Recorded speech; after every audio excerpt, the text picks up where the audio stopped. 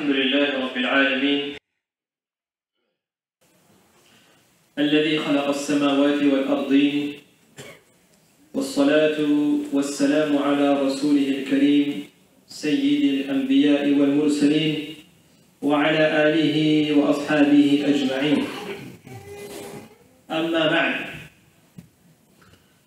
قال الله تعالى بعد أعوذ بالله من الشيطان الرجيم. بسم الله الرحمن الرحيم. وما خلقت الجن والإنس إلا ليعبدون وقال الله تعالى وقضى ربك ألا تعبدوا إلا إياه وبالوالدين إحسانا إما يبلغن عندك الكبر أحدهما أو كلاهما فلا تقل لهما أف ولا تنهرهما وقل لهما قولا كريما صدق الله العظيم وصدق رسوله النبي الكريم ونحن على ذلك لمن الشاهدين والشاكرين والحمد لله رب العالمين My dear respected elders, mothers, brothers, sisters, and young friends, Assalamu alaikum wa rahmatullahi wa barakatuh. During today's khutbah, I would like to address a very important yet often neglected aspect of our deen, of our faith, which is the Islamic duty to honor our parents. I would like to start by reminding us of our primary purpose in life. What is our primary purpose in life? Why did Allah Azza wa created us? And why did Allah Azza wa Jal created the earth and the world and sent us here? Allah Azza wa Jal mentioned in the Quran أعوذ بالله من الشيطان الرجيم وما خلقت الجن والإنس إلا ليعبدون in Surah الذاريات Allah Azza wa Jal is mentioning قصد الحياة what is the purpose of life And he said I did not create the jinn and the mankind except for one purpose, for one reason, is to worship me. I did not send you in this world to study or to achieve anything in terms of worldly gains or to get honors or anything like that. The only purpose why I've sent you in this world is to worship me. That's all. Of course, we need to live and we need to survive. This is the, how the world has been created. There is asbab, and we have to use those means. But the qasdul haya is to worship Allah Azza wa Jal. By reciting this ayah about the purpose of creation, of our creation, we started with the ayah regarding the parents, and now I've read the ayah about the purpose of creation. What is the link? So I wanted here to highlight that worshipping Allah, worshipping Allah includes fulfilling the rights and the huquq that Allah Azza wa Jal has assigned to His creation. To worship Allah includes fulfilling the rights and the duties that Allah Azza wa Jal has assigned to His makhluk. Now, among these rights and among these obligations, we owe to our parent. After Allah, the Most High, our parents are the most deserving of our service and of our devotion. Allah Azza wa Jal has elevated the maqam of our parents to such a degree that He mentions them immediately after the command to worship Allah. He said, وَقَضَى رَبُّكَ أَلَّا تَعْبُدُوا إِلَّا إِيَّاهُ وَبِالْوَالِدَيْنِ إِحْسَانًا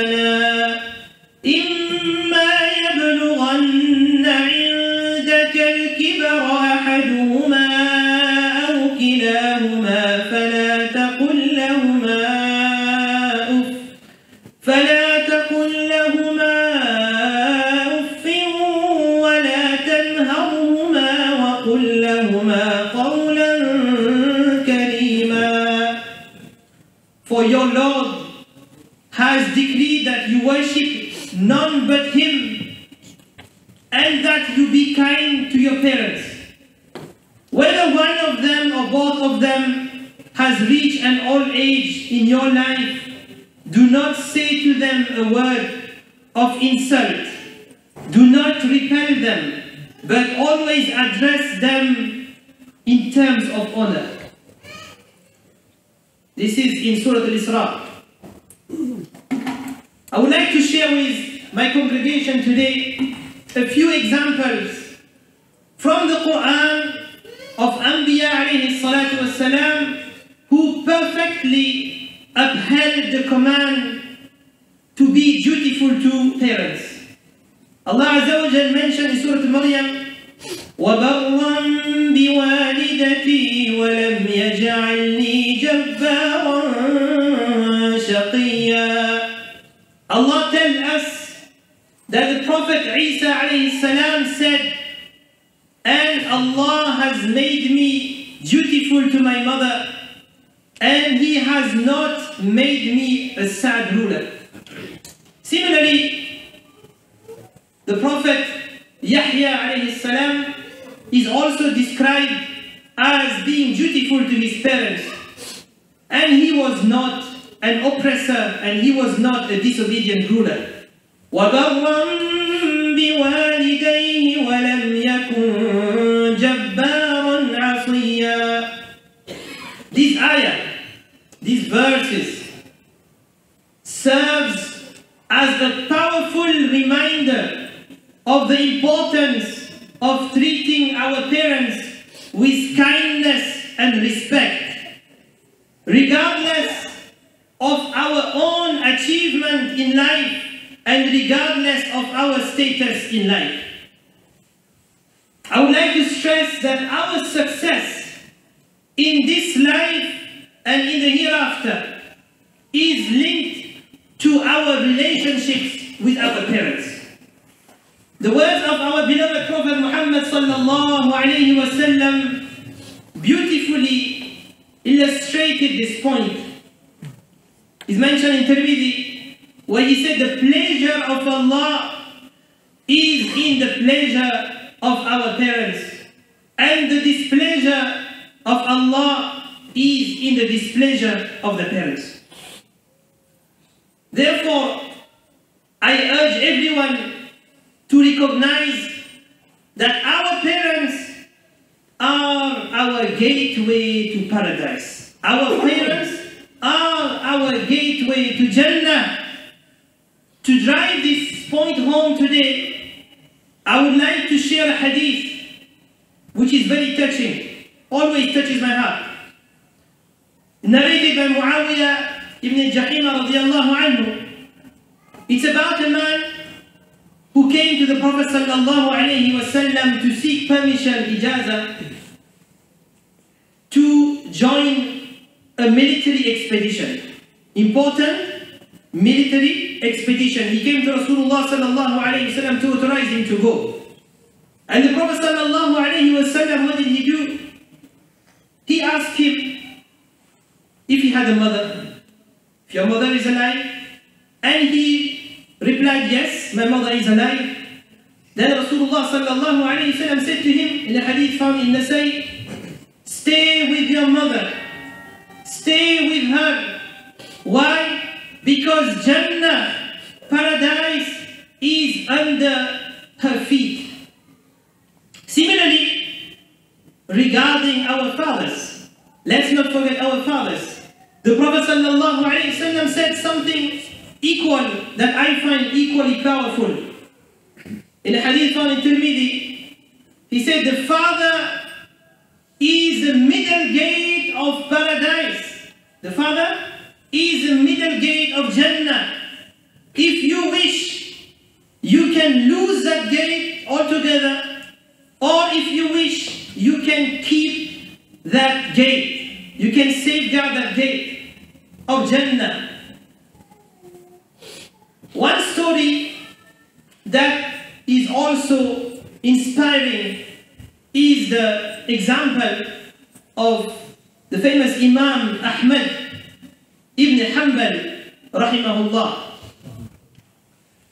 The sacrifice of Imam ibn Hanbal's mother has played a very important role, a crucial role, a crucial role in his journey to become one of the greatest alim, one of the greatest scholars in Islamic history. Imam ibn Hanbal, rahimahullah, he used to consider, amongst all his teachers, he used to consider his mother among his greatest teachers, subhanAllah. And he used to mention how from a young age she sacrificed so much just for one reason. Why? To see him through his journey of seeking knowledge. To see him excelling through his journey of seeking ilm, talabul ilm. And because of her sacrifice, he became one of the greatest alim this ummah has witnessed. I have to address a very concerning trend that I have sadly noticed in our community overall is increasing disrespect towards parents. The increasing rudeness towards parents. The increasing disobedience towards parents.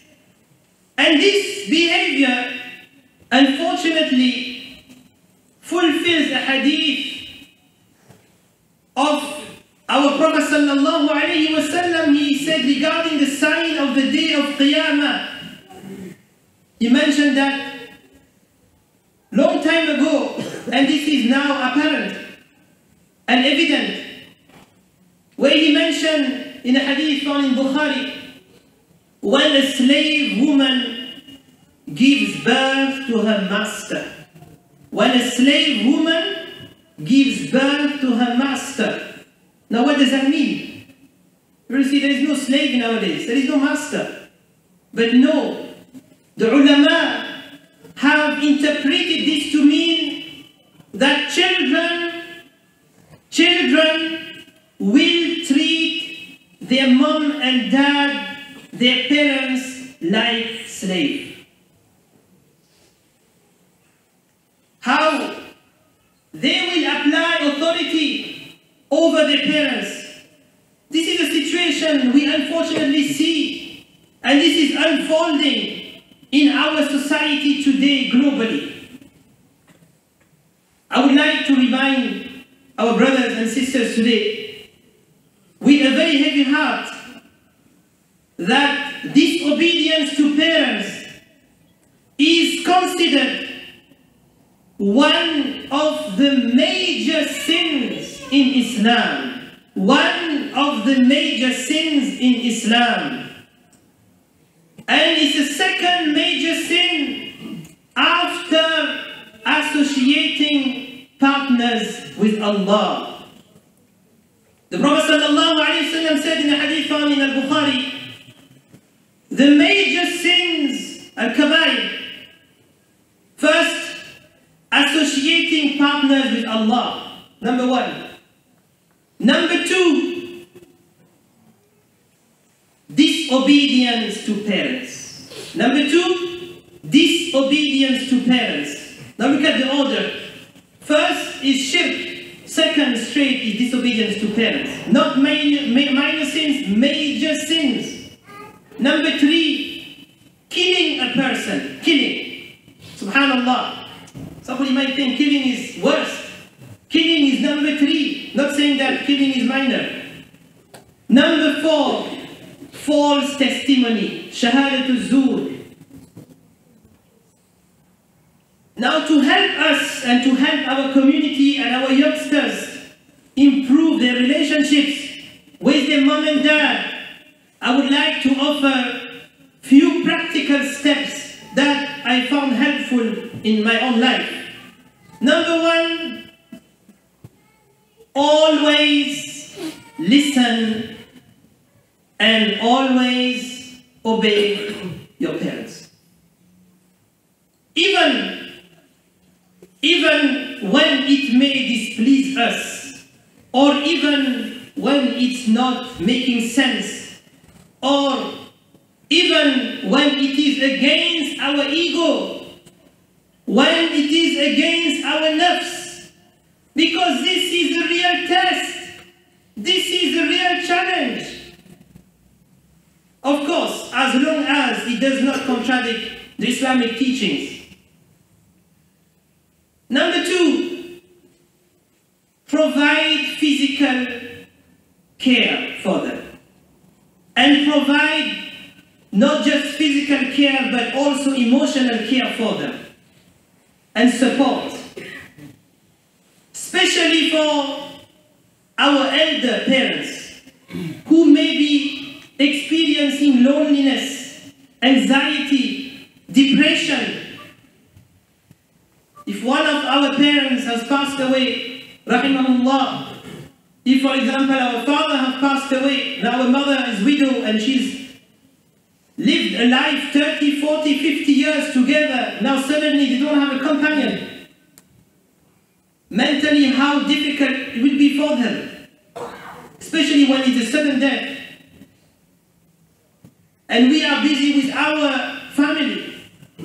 We think they have the house, they have the food, financially they're fine. But what about providing them with emotional care and support?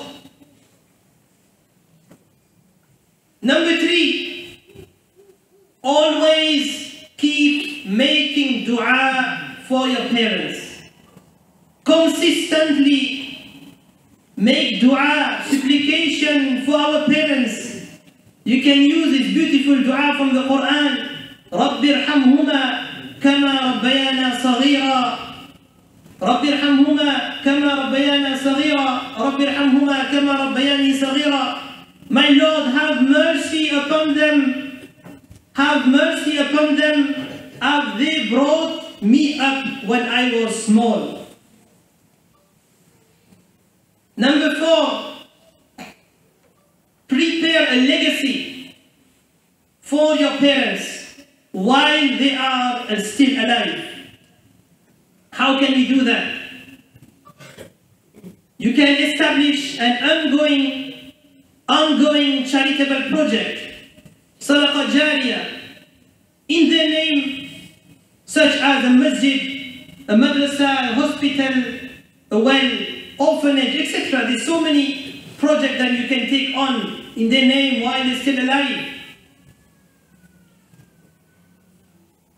And also I want to emphasize that these points I have mentioned and these actions we should do them, but it should be done out of love, out of muhabba, out of ita'ah to Allah, out of obedience to Allah, and out of recognition of our parents' rights and huquq, rather than attempting to repay them fully.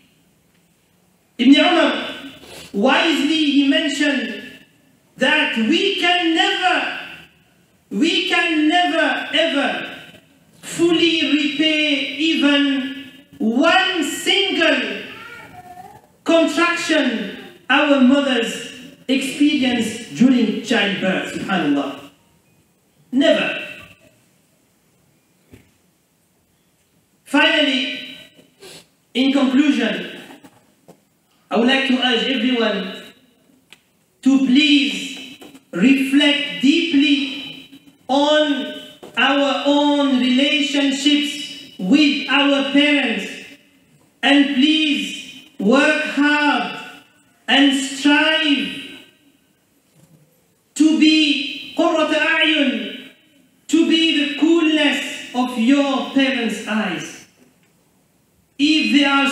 alive, strive and work hard. By honoring our parents, we won't only be fulfilling a critical Islamic obligation, but also we will be securing for ourselves a path to Jannah, a path to paradise, and we will be securing Allah's pleasure. All of these beautiful Islamic teachings reminders, is leading us to a functional and to a loving family which have a far-reaching effects upon the community and upon the society at large.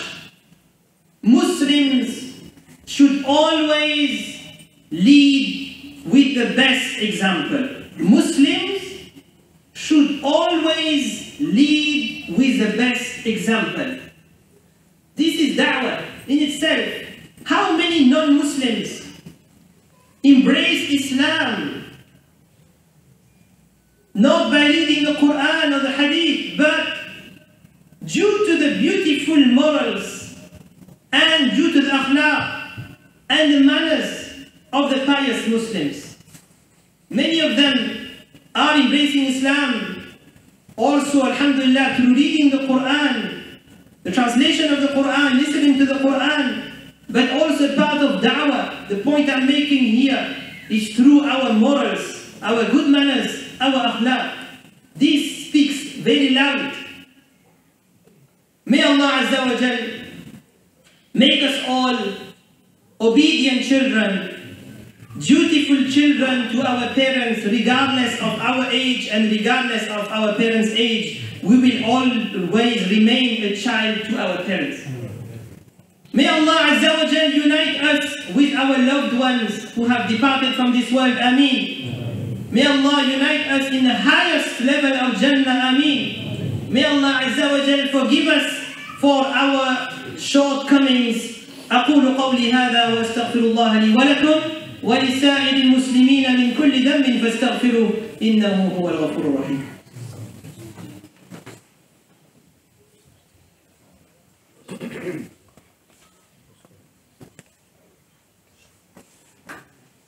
الحمد لله أستعينه وأستغفره ونعوذ بالله من شرور أنفسنا من يهد الله فلا مضل له ومن يضلل فلا هادي له وأشهد أن لا إله إلا الله وحده لا شريك له وأشهد أن محمدا عبده ورسوله. أرسله بالحق بشيرا ونذيرا. بين يدي الساعة. من يطع الله ورسوله فقد رشد. ومن يعصهما فإنه لا يضر إلا نفسه ولا يضر الله شيئا. أعوذ بالله من الشيطان الرجيم. إن الله وملائكته يصلون على النبي. يا أيها الذين آمنوا صلوا عليه وسلموا تسليما. اللهم صل على محمد عبدك ورسولك وصل على المؤمنين والمؤمنات والمسلمين والمسلمات وبارك على محمد وأزواجه وذريته. قال النبي صلى الله عليه وسلم أرحم أمتي بأمتي أبو بكر رضي الله عنه وأشدهم في أمر الله عمر رضي الله عنه وأصدقهم حياء عثمان رضي الله عنه وأقضاهم علي رضي الله عنه وفاطمة سيدة نساء أهل الجنة رضي الله عنها والحسن والحسين سيدا شباب أهل الجنة وحمزة أسد الله وأسد رسوله رضوان الله عنهم أجمعين. اللهم اغفر للعباس وولده مغفرة ظاهرة وباطنة لا تغادر ذنبا. اللهم أعز الإسلام والمسلمين اللهم أعز الإسلام والمسلمين. اللهم انصر دينك وكتابك وسنة نبيك وعبادك المؤمنين. اللهم فرج هم المهمومين من المسلمين. ونفس كرب المكروبين. واقض الدين عن المدينين. واشف مرضانا ومرضى المسلمين. برحمتك يا أرحم الراحمين. اللهم أصلح أحوال المسلمين في غزة وفي لبنان وفي كل مكان. يا رب العالمين يا حي يا قيوم يا رب العالمين يا ذا الجلال والإكرام. اللهم أنت الله لا إله إلا أنت أنت الغني ونحن الفقراء. ربنا في الدنيا حسنة وفي الآخرة حسنة وقنا عذاب النار. سبحان ربنا رب العزة عما يصفون وسلام على المرسلين وآخر دعوانا أن الحمد لله رب العالمين.